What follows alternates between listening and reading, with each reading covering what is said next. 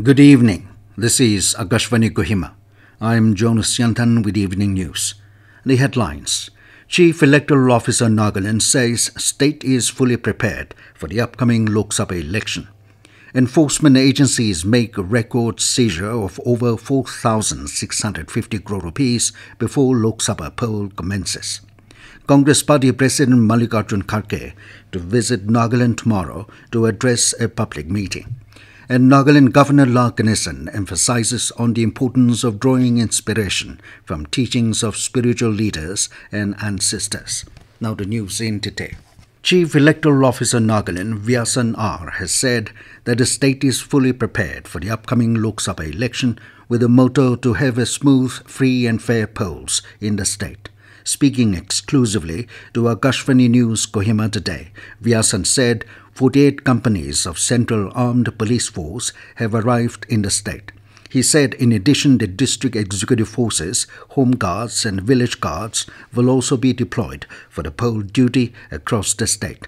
Vyasan stated that the international borders are being manned by the Assam Rifles, while the civil administration, especially in the role of flying squad and static surveillance team, are intercepting any illegal money and drugs. The CEO informed that 13 lakh 17,536 registered voters will be casting their votes in 2,342 polling stations in the state. He said that there will be 513 all women polling stations spread across the state, besides four people with disabilities managed polling stations, each in Kohima, Phek, Mokokchung, and Tuensang.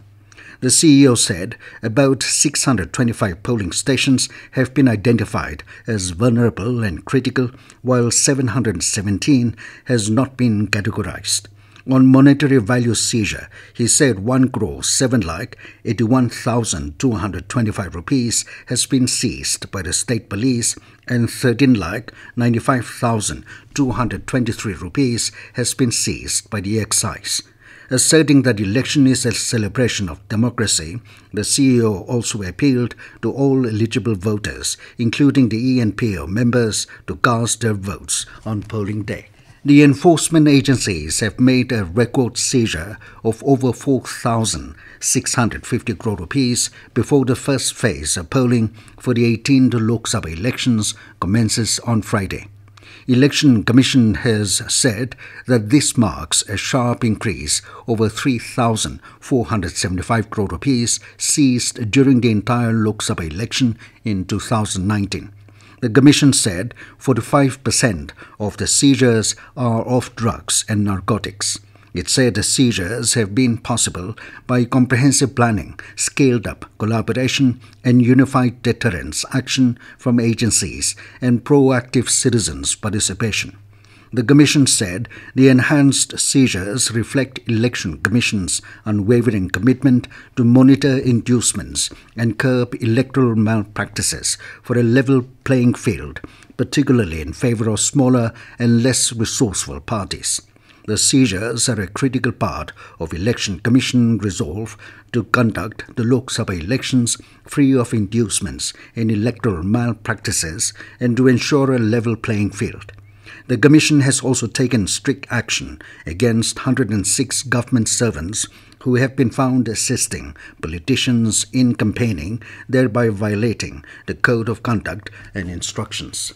Congress Party President Mallikarjun Kharge is scheduled to visit Nagaland tomorrow to address a public meeting in Dimapur.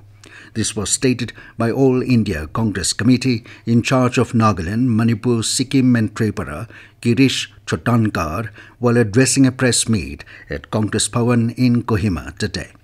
The Congress leader expressed confidence that INDIA alliance would form the government at the centre.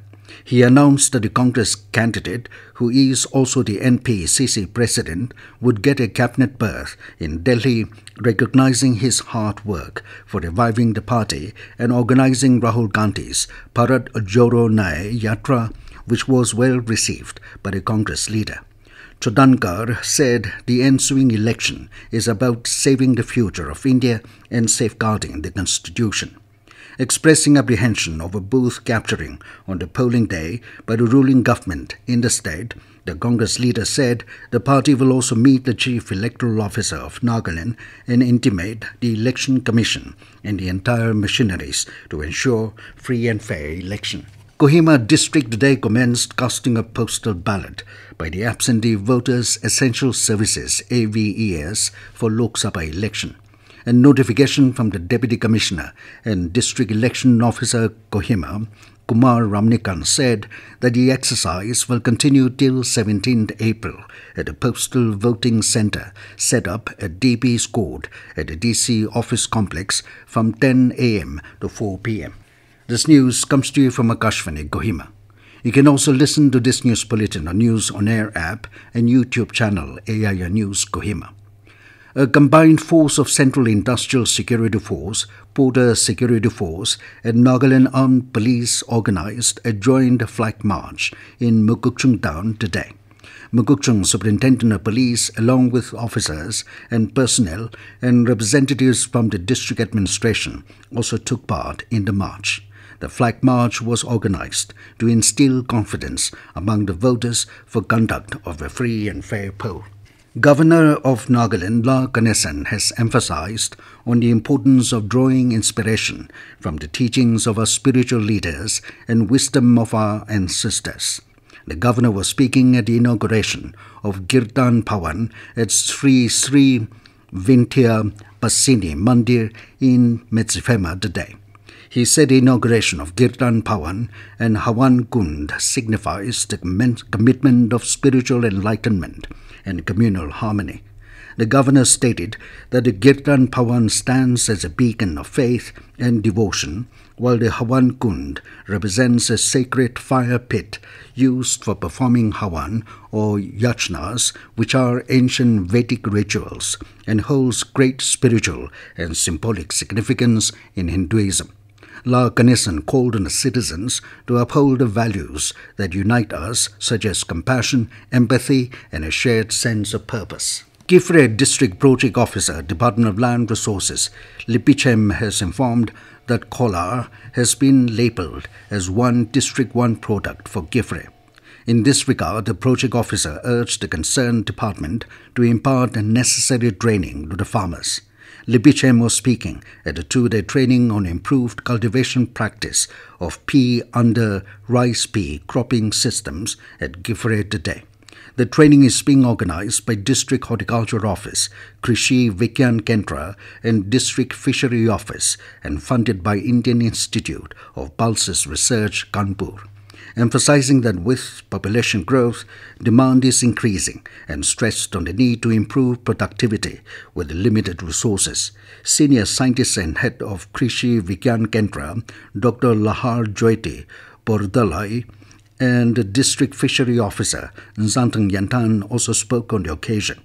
Chief Technical Officer Krishi Vigyan Kendra, Dr. Kamdemo Ezung gave a technical session on pulses, over 30 farmers are attending the training. Gracious Life Foundation, a non governmental organization, today held an awareness program on school mental health at Government High School, Sovima, under Chumoukedima district. The program was conducted for students of class 8, 9, and 10 with the objective to educate the students on mental health and issues related to it. The program covered different topics like mental health, negative impact of social media on mental health, substance addiction, and stress management. A total of 61 students attended the program. Gracious Life Foundation offers a range of mental health services such as psychiatric OPD, counseling services, and community outreach programs. Various awareness programs are conducted in different educational institutions, churches, and at community level to spread awareness on mental health and to reduce stigma associated to mental illness. And now, 20 News, here are the headlines again. Chief Electoral Officer Nagaland says state is fully prepared for the upcoming Lok Sabha election enforcement agencies make a record seizure of over 4,650 crore rupees before Lok Sabha poll commences. Congress Party President Mallikarjun Kharge to visit Nagaland tomorrow to address a public meeting. And Nagaland Governor La Ganesan emphasizes on the importance of drawing inspiration from the teachings of spiritual leaders and ancestors. That is all we have in this evening news bulletin. Good night.